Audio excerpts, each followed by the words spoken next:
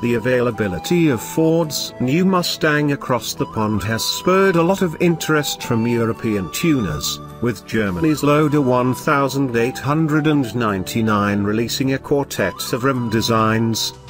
The wheels are available in various colors ranging in sizes from 20 to 22 inches and in prices, from 1,200 euros to 1,885 euros a pop approximately 1,300 US dollars to US $2,050 at today's exchange rates, but bear in mind, these prices are for Germany.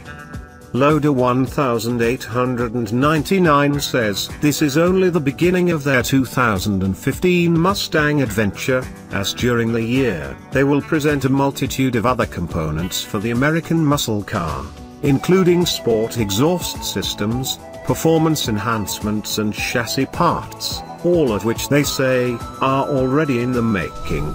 King.